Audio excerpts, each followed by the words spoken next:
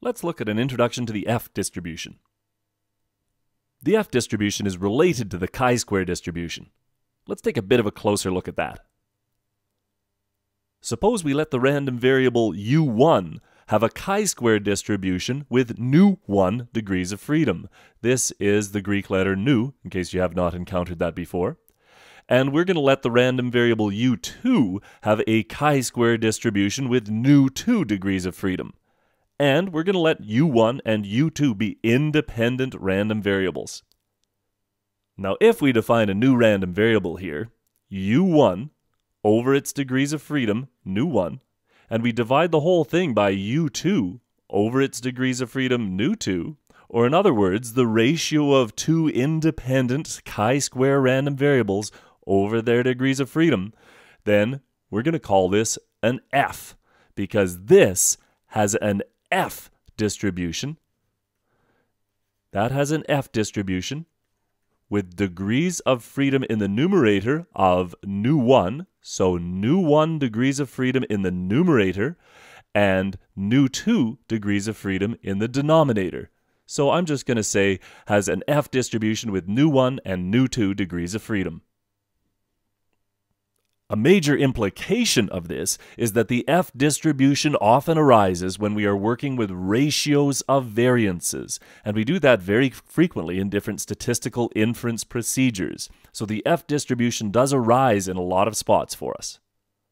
Here's the probability density function of the F distribution with the two parameters nu1, the degrees of freedom in the numerator, and nu2, the degrees of freedom in the denominator. Now, we're not going to be working with the PDF directly very often, but one thing to keep in mind is that that f random variable was a ratio of two non-negative quantities, and as such, an f random variable is not going to take on negative values. Here's the PDF plotted out for three different sets of degrees of freedom.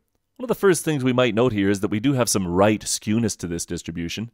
And another thing we might note if we look at this white line, which is an F distribution with 3 degrees of freedom in the numerator and 8 in the denominator, is different from this red line, which is an F distribution with 8 degrees of freedom in the numerator and 3 with the denominator. So the distribution is different when we flip the degrees of freedom around.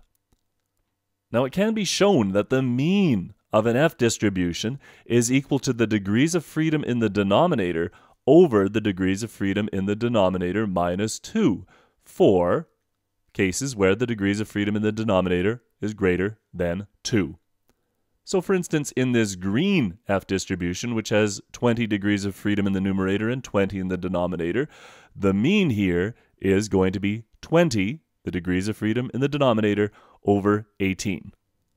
The median of the F distribution depends on the degrees of freedom as well. When the degrees of freedom are equal in the numerator and the denominator, then the median is equal to exactly 1. So in the case here, where the degrees of freedom in the numerator and the denominator were equal, the median is equal to exactly 1.